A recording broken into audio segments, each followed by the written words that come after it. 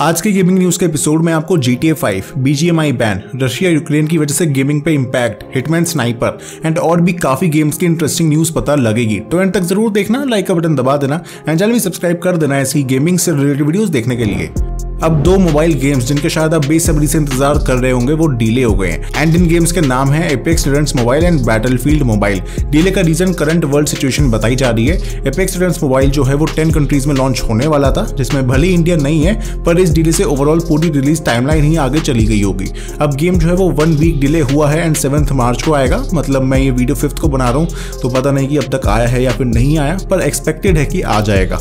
उसी के साथ बैटलफील्ड मोबाइल का क्लोज अल्फ़ा टेस्ट होने वाला था इन इंडिया एंड हाईलैंड पहले ऐसी भी न्यूज़ आई थी कि उन्होंने अब गेम में खूब सारे चेंजेस करे हैं एंड उसे सॉर्ट ऑफ़ बेटर बना दिया है बट अब इंडियंस को वो गेम खेलने को नहीं मिलेगा एटलीस्ट कुछ टाइम तक, क्योंकि एग्जैक्ट डेट अभी तक नहीं बताई गई है। पबजी न्यू स्टेट, या मैं उसे अब उसके नए नाम न्यू स्टेट मोबाइल से बुलाऊं, वो गेम में एक बहुत ही मेजर चेंज आने वाला है। मार्च 2022 अपडेट में डेवलपर्स ने सोचा है कि गेम के सारे व्हीकल्स को नर्फ किया जाएगा, जिसका मतलब है कि उनकी पावर कम की जाएगी। क्राफ्टॉन ने बेसिकली नोटिस किया है कि लोग कार्स को सिर्फ़ ट्रैवल के लिए नहीं, बल्कि फाइट के लिए भी यूज़ कर रहे हैं। इसलिए वो कार्स में फाइट के रिलेटेड फीचर्स को कम कर देंगे, जैसे कि एक्यूरेसी घटा देंगे एंड कार डोर डिस्ट्रॉय होने पर जो शूट वाला ऑप्शन आता है, वो अब नहीं आएगा। क्योंकि वो मानते हैं कि यार एक शूटर गेम है, जो कि फुट पे खेला जाना चाहिए ना कि व्हीकल्स में। बेसिकली वोल्ट एक ऐसी कार थी जिसका सबसे ज़्यादा यूज़ हो रहा था उसकी कम आवाज़ की वजह से, तब उसकी आवाज़ भी बढ़ा दी जाएगी। आप इन चेंजेस के बारे में क्या सोचते हो, मुझे बताना कमेंट्स में। फिर Hitman Sniper the Shadows launch हो गया है for Android and iOS and अब आप इसे फ्री में भी खेल सकते हो। इसमें प्लेयर्स इंटरनेशनल कॉन्ट्रैक्ट एजेंसी के एजेंट्स होते हैं एंड वो दुनिया भर में जाकर टारगेट्स को टेक डाउन करते हैं। स्टोरी कुछ ऐसे है कि एजेंट 47 गायब हो गया है एंड इसलिए एक सीक्रेट असैसिन्स का ग्रुप जिसका नाम है द शेडोज वो भी एक नए क्रिमिनल नेटवर्क को खत्म करेंगे। अब इसमें एजेंट 47 नहीं है तो कुछ लोग खुश नहीं थे। पर डेवलपर्स का कहना है कि वो पिछले गेम का सीक्वल नहीं, बल्कि कुछ नया बनाना चाहते थे, ताकि उनके पास फ्रीडम हो कुछ नया कंटेंट डालने की। एंड इसलिए द शेडोज नाम का ग्रुप बनाया गया है जिसके मेंबर्स की फ़ोटो आप स्क्रीन पर देख ही सकते हो। इसमें आपको काफ़ी सारी नई लोकेशन देखने को मिलेंगी एंड साथ साथ दो मोड्स भी है। एक तो सिंपल स्टोरी मोड है जिसमें आप स्टोरी में प्रोग्रेस करोगे एंड दूसरा है पीवीपी मोड जिसमें प्लेयर्स एक दूसरे से कम्पीट करते हैं। उन्हें अपनी रेपुटेशन बनानी पड़ती है एंड बहुत ही प्रिसीजन और क्रिएटिविटी के साथ टारगेट को टेक डाउन करना होता है। तो आप बताओ कि इस गेम को खेल रहे हो या फिर नहीं? गूगल ने कंफर्म कर दिया कि गूगल प्ले पास अब इंडिया में भी आ रहा है, जो कि एक सब्सक्रिप्शन सर्विस है, जिसमें गूगल प्ले स्टोर के प्रीमियम एप्स एंड गेम्स का एक्सेस मिल जाता है। इसका प्राइस होगा 99 पर मंथ या फिर 899 पर ईयर इससे आपको थाउज़ेंड से भी ज़्यादा पेड गेम्स एंड एप्स का एक्सेस मिल जाएगा। कुछ गेम्स की बात करूँ तो इस सर्विस में वो है Terraria Limbo Stardew Valley and mountain valley two ये सब पेड गेम्स है, जिनको आप फ्री में खेल सकते हो सब्सक्रिप्शन की वजह से। एंड आप अपनी सब्सक्रिप्शन को पाँच अलग फैमिली मेंबर्स को भी शेयर कर सकते हो। आपके इस पे क्या थॉट्स है, मुझे बताना बताना कमेंट्स में आई थिंक कि अगर इसमें कुछ और अच्छे पेड गेम्स ऐड हो जाए तो ये सर्विस काफ़ी ज़्यादा बढ़िया बन सकती है। GTA trilogy the definitive edition का तीन महीने बाद एक बड़ा अपडेट आ रहा है, जिसमें गेम में बहुत सारे चेंजेस किए गए हैं। मिली फोकस टेक्सचर्स पे दिया गया है देन स्टेबिलिटी टाइपोज एंड और भी कुछ इश्यूज़ को फिक्स किया गया है। बहुत सारी छोटी मोटी चीज़ें भी फिक्स की गई हैं एंड इस लिस्ट की एक एक चीज़ बताना तो बड़ा मुश्किल है। आप देख ही सकते हो स्क्रीन पर। रोक कंपनी का एक पॉपुलर गेम है for PC and last year अगस्त 2021 में उन्होंने रिवील किया था कि इसका एक मोबाइल वर्जन भी लाएँगे। एंड अब जाकर उन्होंने रिवील किया है कि मोबाइल वर्जन की टेस्टिंग स्टार्ट होने वाली है। अभी के लिए जो आईओएस प्लेयर है, वो इसे टेस्ट कर पाएँगे। वैसे कुछ टाइम पहले ओपन बीटा टेस्ट हुआ था और अभी टेक्निकल टेस्ट हो रहा है। तो ऐसा हो सकता है कि गेम ऑफ़ फाइनल स्टेजेस में अपनी डेवलपमेंट के बहुत जल्द रिलीज़ भी हो जाए। ये गेम को लोग पसंद करते हैं इसके थर्ड पर्सन मल्टीप्लेयर के लिए, जिसमें काफ़ी मोड्स हैं। अगर आप आईओएस प्लेयर हो तो मैंने लिंक दे दिया डिस्क्रिप्शन में, जहाँ जाकर आप इसकी टेस्टिंग के लिए पार्ट ले सकते हो साइन अप कर सकते हो। रॉकस्टार गेम्स ने नई G T five expanded and enhance version के सारे फीचर्स रिवील कर दिए हैं। ये बेसिकली फिफ्टीन मार्च को रिलीज़ हो रही है। अब रॉकस्टार इसको G T five expanded and enhance के नाम से नहीं बोल रहे, बल्कि सिर्फ़ जी टी फाइव बोल रहे हैं, क्योंकि तो उन्हें भी पता है कि इसमें कुछ भी एक्सपैंडेड नहीं है। इसी के साथ टी ऑनलाइन का स्टैंड अलोन वर्जन भी रिलीज़ किया जाएगा। नए फीचर्स की बात करें तो इसमें नए ग्राफिक्स मोड आ गए हैं, जिससे आप गेम को रेट ट्रेसिंग के साथ फोर के पे खेल पाओगे, या फिर ten eighty and sixty F पे। एंड पी एस फाइव पे हैप्टिक फीडबैक मिलेगा प्लेयर्स को।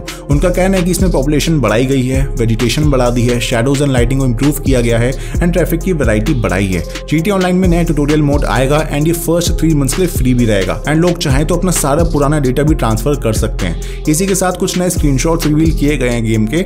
लोग मार्च एट से गेम को प्रीलोड भी कर पाएँगे on Xbox series X and P और मार्च फिफ्टीन को तो रिलीज़ हो ही जाएगा। इसके फ़िज़िकल वर्जन अप्रैल में आएँगे एंड उनका डिस्क का जो कवर होगा, उस पर जो लोगो यूज़ किया जाएगा, वो लीक हुआ है। मतलब दिखने में बिल्कुल सिमिलर ही है, बस ये कि इसमें गोल्डन बॉर्डर आ गया। है फ्री फायर को बैन हुए महीना नहीं हुआ और यहाँ बीजीएमआई के बैन की बातें उठ रही हैं। असम के एनजीओ है जिसका नाम है प्रहार। एंड उन्होंने इंडियन गवर्नमेंट से अपील करी है कि बीजीएमआई को बैन कर देना चाहिए। उनके अकॉर्डिंग इसे उन 54 एप्स के साथ ही बैन कर देना चाहिए था, जो रिसेंटली हुए हैं।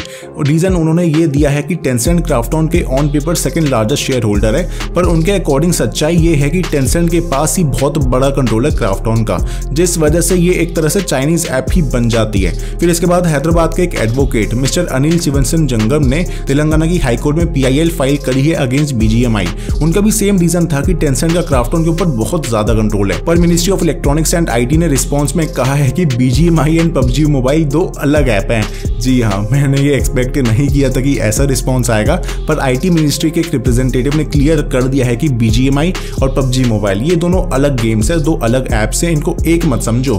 आगे उन्होंने ये भी लिखा है कि किसी ऐप को बैन करने का डिसीज़न या फिर किसी कंप्यूटर सॉफ्टवेयर को बैन करने का डिसीज़न गवर्नमेंट ऑफ़ इंडिया के पास होता है, उनके पास नहीं होता। वैसे अगर ऐसे ही चलता रहा एंड दूसरी कंपनी के गेम्स ही बैन होने लगे जिसमें चाइनीज़ कंपनी का शेयर है तो भाई आप सोच भी नहीं सकते कितने गेम्स बैन हो जाएँगे। अगर कहोगे तो गेम्स गॉसिप पर इसके रिलेटेड एक वीडियो बना दूँगा। अब बात करते हैं यूक्रेन एंड रशिया के बीच जो हो रहा है, उसका इफ़ेक्ट गेमिंग पे।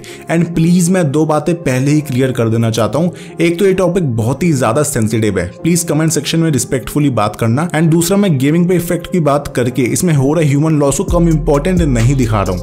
ह्यूमन लॉस इसमें सबसे बड़ी चीज़ है, लेकिन हमारा चैनल गेमिंग के लिए है। इसलिए यहाँ पर सिर्फ़ गेमिंग की बात कर सकता हूँ मैं। एंड मैं चाहता भी नहीं था बात करने की इस टॉपिक पर। पर पिछले कुछ दिनों में इतना कुछ हो गया है कि सोचा आपको शॉर्ट में अपडेट दे दूँ। जैसे कि एपेक्स मोबाइल की सॉफ्ट लॉन्च डिले हो गई है। एंड बैटलफील्ड मोबाइल का जो क्लोज बीटा टेस्ट है, वो भी इंडेफिनेटली डिले हो गया है। फिर बहुत सारी गेमिंग कंपनीज़ ने डोनेशन देने शुरू किए हैं, जैसे कि Ubisoft Gameloft C D project red और बहुत सी कंपनीज़ का ऑफ़िस यूक्रेन में ही है। तो इसलिए वो अपने इंप्लॉयज की सेफ्टी उनकी प्रायोरिटी बन गई है। चौका टू एंड मेट्रो सीरीज़ के developer GSC and four games तो वहीं से ही है। इसलिए उन्होंने तो गेम बनाने पॉज कर दिए हैं, क्योंकि वो भी सही है अपनी जगह भाई, कि पहले जान बचा लें, तभी तो गेम बनाएँगे। देन बहुत सारी कंपनीज़ ने रशिया में गेम्स बेचने बंद कर दिए जैसे कि E and C D project red Microsoft ने एक्सबॉक्स के कंसोल्स और गेम्स बेचने बंद कर दिए और प्ले ने भी चुपचाप ग्रैंड टेरिज्मो सेवन को स्लोली रशिया से हटा लिया। ये ने फीफा मोबाइल फीफा 22 और फीफा ऑनलाइन से रशियन टीम्स एंड क्लब्स को हटा दिया फिर वर्ल्ड ऑफ़ टैंक्स गेम बनाने वाले स्टूडियो वॉर्ड गेमिंग के क्रिएटिव डायरेक्टर ने फेसबुक पे पोस्ट डालते हुए रशिया को सपोर्ट किया था। एंड इसलिए उन्हें कंपनी से निकाल दिया गया मतलब हाँ अपने पर्सनल ओपिनियन को शेयर करना कुछ गलत नहीं है। पर बिग पिक्चर ये है कि वॉर्ड गेमिंग का ऑफ़िस यूक्रेन में भी है, जहाँ 550 से भी ज़्यादा लोग फंसे होंगे। वो भी यूक्रेन की कैपिटल काइव में तो ऐसे टाइम पर अगर कोई सीनियर बंदा इतना स्ट्रॉन्ग ओपिनियन देगा तो वो फंसे हुए लोग समझेंगे कि कंपनी उनके अगेंस्ट है। इसलिए वॉर गेमिंग ने आगे आकर कहा कि वो क्रिएटिव डायरेक्टर के थॉट्स पे एग्री नहीं करते। वैसे और भी बहुत कुछ हुआ है। अगर आप कहोगे तो इस टॉपिक पे एक डिटेल वीडियो बनाऊँगा और मैं अदर चैनल गेम्स गॉसिप तो यही तैयार आज के गेमिंग न्यूज़ के एपिसोड में। आई होप की वीडियो आपको पसंद आई होगी। वीडियो अच्छी लगे तो लाइक कर दो एंड चैनल सब्सक्राइब कर दो। ऐसी वीडियो देखने के लिए मिलूँगा आपसे अगली वीडियो में। तब तक के लिए टाटा बाय बाय